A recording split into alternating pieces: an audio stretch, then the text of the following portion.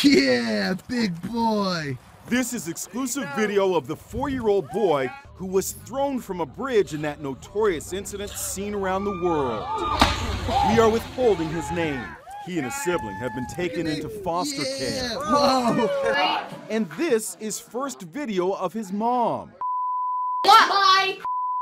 She's at a boisterous house party with the child's father, who works at a marijuana dispensary.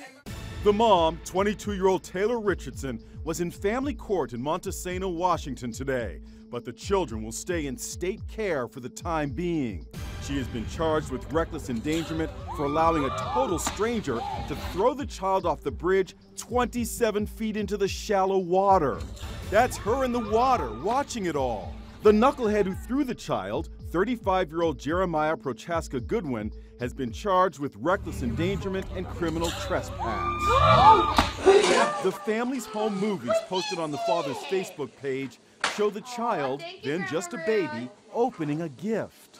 Isn't that cool? Look what you got. In this video, he's getting what appears to be his first haircut.